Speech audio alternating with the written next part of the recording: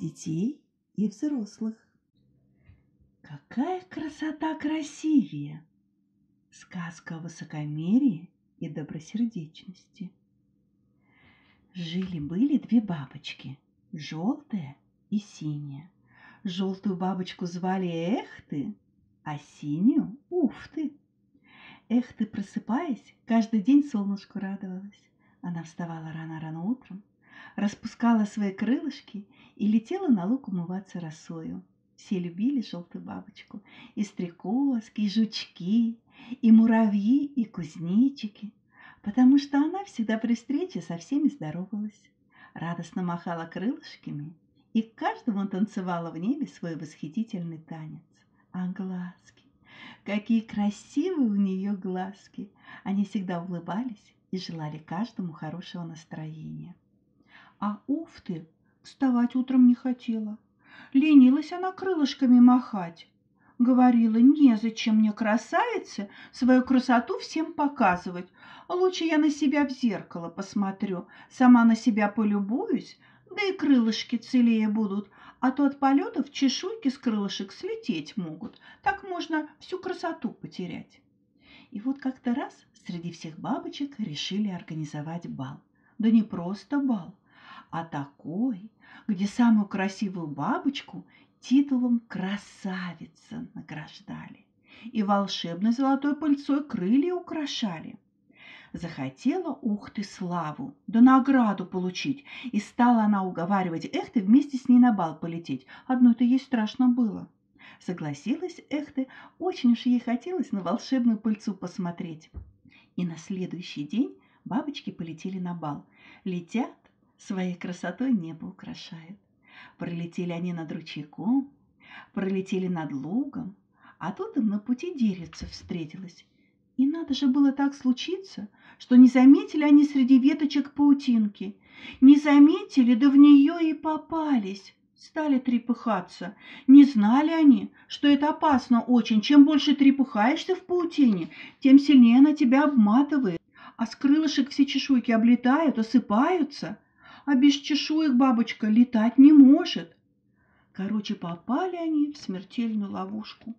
Уф ты крылышками не машет и говорит, не хочу я красоту свою портить. А эх ты, Старалась, старалась, крылышками махала, махала, много-много, долго-долго, из сил вся выбилась, почти все крылышки пообтрепала, всю красоту свою потеряла, но трудиться не переставала, не выдержала паутинка и разорвалась. Полетела Эхта из последних сил за помощью к муравьям, букашкам, жучкам и кузнечикам, а пока она летела, оставшиеся чешуйки с нее и слетели. Упала обессиленная Эхты на землю и рассказала друзьям, что на пушке леса в паутине запуталась Уфты. Попросила Эхты помочь ей, и все друзья сразу на помощь поспешили и освободили Уфты из паутины. Полетела высокомерная красавица Уфты одна на бал, а Эхта тем временем лежала обессиленная на земле. Ведь лететь-то она не могла, так как все чешуйки с ее крылышек ободрались. Положили букашки жуки эхт аккуратно на листик, позвали двух стрекозок-близняшек и попросили отнести эхты на бал. Между тем Уфты прибыла на бал всех красотой своих покорять. Эх, какое же это было представление! Все бабочки прилетели на этот бал, и каждая была просто восхитительно красива. Прилетела павлина Глазка с князем тьмы, мадагаскарская комета с гебомоем главком, павлиний глаз с бабочкой-репеницей, адмирал с хвостаткой королевской. Все бабочки были восхитительно красивы. Они кружились парами, танцевали вальс и создавали в небе необычайно красивые геометрические фигуры. В самом конце вечера на бал прибыли стрекозки с Эхты. «Ах, как тут красиво!» — восхищенно прошептала Эхты. Она не могла соревноваться по красоте с другими бабочками, так как все крылышки у нее были ободраны, да и лететь сил больше не было. Но желание увидеть волшебную золотую пыльцу было большим и жгучим. «Где же волшебная пыльца?» – спросила она. Но никто ей не ответил. Никто даже не обратил внимания на облезлую бабочку, которая не могла взлететь в небо. Тем временем собрался совет бабочек, чтобы выбрать самую красивую бабочку-раскрасавицу. Стали все думать, гадать, красоту и достоинство всех бабочек перебирать. И никто не хотел уступать, так как каждая бабочка считала себя самой красивой на свете. Брюнетки и блондинки, чаровницы волоокие и синеокие. Как же много красавиц!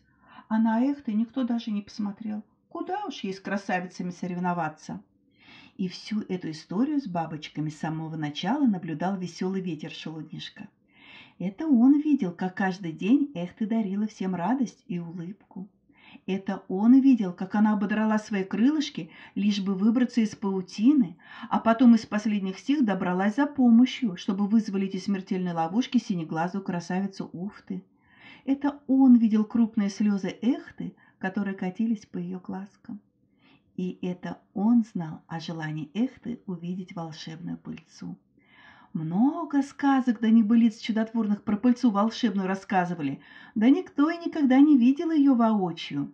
И решился тогда ветерок-шелунишка похулиганить немножко. Решил проверить силу волшебства золотой пыльцы на эхты. Подкрался он незаметно к пыльце, пока все бабочки спорили, кто красивее. Перенес пыльцу поближе к эхты, дунул и осыпал волшебной пыльцой все ее крылышки. И тут все чудо увидели. Пыльца волшебной все крылышки Эхты восстановила, да золотым сиянием украсила. Стала Эхты красавицей-раскрасавицей, всем бабочкам на удивление, жукам на восхищение, стрекозкам, букашкам да ветру веселому на радость долгую да ежедневную. Сказка ложь да в ней намек, добрым молодцам урок. Не так сказка сказывается, да так дело делается. Пословицы народ веками складывал, в них сила и мудрость вековая.